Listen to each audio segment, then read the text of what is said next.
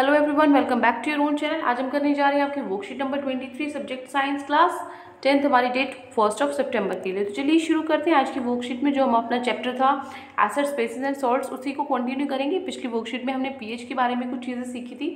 आज देखेंगे pH of salts कुछ सॉल्ट्स हैं जिनका पीएच क्या होता है वो हम देखेंगे। देखो फ़र्स्ट स्ट्रॉन्ग एसिड और अगर स्ट्रॉन्ग बेस आपस में रिएक्ट करते हैं तो वो न्यूट्रल सोल्ट बनता है, ठीक है? जिसका पीएच किसके इक्वल होता है? सेवन के इक्वल होता है। जैसे यहाँ आपका H C L plus N H क्या बनता है? N A C L plus H two ठीक है? उसके बाद है, अगर आपका स्ट्रॉन्ग एसिड हो, लेकिन वीक बेस हो, यहाँ पे दोनों स्ट्रॉन्ग थे स्ट्रॉन्ग एसिड था स्ट्रॉन्ग बेस था तो न्यूट्रल सोल्ट बना। अब एसिड स्ट्रॉन्ग है वीक बेस है, जो स्ट्रॉन्ग क्या है एसिड है तो एसिडिक सोल्ट बनेगा, ठीक है ना? जैसे for example H C L plus N H four O H N H four C L plus H two यहाँ पे जो आपका पी एच है, वो सेवन से कम हो जाएगा। उसके बाद है स्ट्रॉन्ग बेस और वीक एसिड आपकी बात स्ट्रॉन्ग क्या है? बेस है तो बेसिक सोल्ट आपकी बार बनेगा, ठीक है? जैसे two N A O H plus H two C O three क्या बन जाएगा? N A two C O three plus two H two जो उसके, जो आपका पी एच है क्या होता है? Greater than equal to sorry greater than one sorry seven होता है, ठीक है? अब देखो रॉक साल्ट क्या होता है? Salt in its natural form as a crystalline mineral is known as rock salt जैसे एन है। अगर कोई भी सोल्ट हम उसको उसके नेचुरल फॉर्म में ही छोड़ दें, एक जैसे वो क्रिस्टलाइन मिनरल की फॉर्म में ही अगर छोड़ दें तो वो रॉक सोल्ट होता है, जैसे एन है, ठीक है? Chemicals from common salt N से कौन सी कौन सी केमिकल्स होती हैं? जैसे ये एक तो सोडियम हाइड्रोक्साइड एन फिर है bleaching powder C A O C L two soda N A two C O three into ten H two O अब जो हमारे पास सोडियम हाइड्रोक्साइड है एन है, जब भी हम इलेक्ट्रिसिटी पास कराते हैं एक्व सोल्यूशन एन के किसी एक्व सोल्यूशन में से, जिसको हम ब्राइन बोलते हैं एक्व सोल्यूशन होता है जो एन का, उसको ब्राइन बोलते हैं तो वो क्या बनाता है? एन बनाता है, जिसको हम क्लोर एल्कली प्रोसेस बोलते हैं, ठीक है? जैसे यहाँ पे टू एन है एच के साथ मिलकर क्या बनाता है? Two N plus C L two plus H two यहाँ पे एनोड साइड जो क्लोरीन गैस है अनोड साइड होती है यहाँ और जो कैथोड साइड कौन सी होती है? एच टू गैस ये ध्यान रखना है। अनोड साइड क्लोरीन और कैथोड साइड क्या होगी? एच टू ठीक है? तो नियर कैथोड कैथोड के पास एन एच सोल्यूशन है, वो बनेगा फॉर्म होगा। यूजेस क्या क्या है इनके? देखो जो फ्यूल एच टू है। एच टू को हम यूज़ करते हैं फ्यूल्स में मैगराइन में आर्टिफिशियल जो बटर होता है, इस सब में। C L two water treatment में आपने देखा होगा, डेली में तो जितने भी आपकी बॉटल्स आती हैं, पानी आता है, उसमें क्लोरीन डला होता है। तो वाटर ट्रीटमेंट में काम करता है पीवीसी और सीएफसीज में भी हेल्प करता है।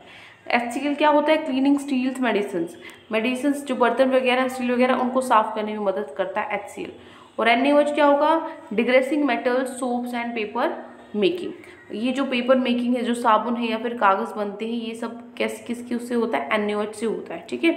तो जिसकी वजह से इसके बहुत हार्मफुल इफ़ेक्ट भी है। आगे है C L two plus N U H क्या बनता है? ब्लीच बनता है, जिसमें एक हाउस होल्ड ब्लीचेस और ब्लीचिंग फैब्रिक्स होंगे, ठीक है? चलिए, अब हम चलते हैं हमारे नेक्स्ट पार्ट पे, आज की वर्कशीट पे। तो आज की वर्कशीट में आपके सिर्फ़ ये फाइव ही क्वेश्चंस हैं।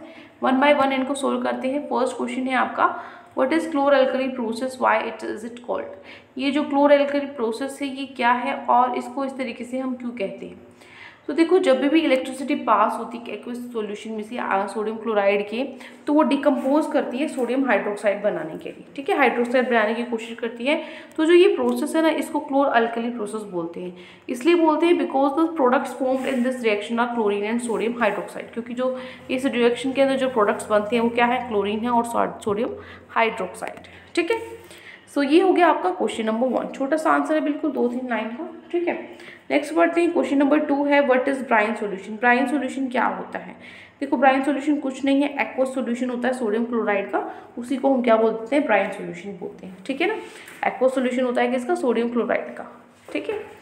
नेक्स्ट है question number third third question is which gas is liberated at anode during chlor alkali process give any two uses of that कौन सी गैस निकली थी अनोड साइड अभी अभी हमने किया था क्लोरीन गैस लिबरेट हुई थी अनोड की साइड और इसके दो यूजेस लिखने हैं। दो यूजेस आप लिख सकते हो it is use in water treatment पानी को साफ़ करने में पीवीसी में और सीएफसीज में। ये तीन यूजेस हमने लिखने हैं, दो ही लिखने थे, लेकिन तीन मैंने लिखवा दिए हैं क्लोरीन गैस के यूजेस ठीक है?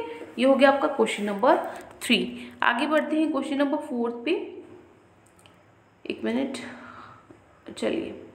सो क्वेश्चन नंबर फोर्थ है आपका name the chemical use in soap and paper making वो केमिकल जो हम साबुन बनाने और कागज़ बनाने में मदद करता है, वो क्या होता है? Sodium hydroxide is use in soap and paper making साबुन और पेपर बनाने के लिए इसकी हेल्प मिलती है, ठीक है? Right it's chemical formula chemical formula लिख देना क्या होता है? Chemical formula N D O H होता है. सिंपल ये हो गया आपका question number fourth complete now last question of our worksheet question number five write any two use of H two gas and hydrochloric acid तो दो use लिखने हैं आपके दो हाइड्रोजन के, दो हाइड्रोक्लोरिक एसिड के। हाइड्रोजन को लिखेंगे तो हाइड्रोजन एक गैस है जो फ्यूल्स या फिर मर्कराइन वगैरह में यूज़ होती है आर्टिफिशियल वाटर में। जबकि जो हाइड्रोक्लोरिक एसिड है वो cleanliness cleaning steels and medicine में हेल्प करती है, ठीक है? ये हो गया क्वेश्चन नंबर फाइव तो ये फाइव क्वेश्चन थी, आज आपकी वर्कशीट में गिवन थे. आई होप आपको अच्छे से समझ में आ गए हैं। कोई भी डाउट है किसी भी क्वेश्चन में तो कमेंट सेक्शन में आप मुझसे पूछ सकते हैं। लेक्चर अच्छा लगे तो चैनल को सब्सक्राइब कर सकते हैं वीडियो को लाइक कर सकते हैं। आज के लिए इतना ही, मिलते हैं नेक्स्ट वीडियो में। चल दें टेक केयर बाय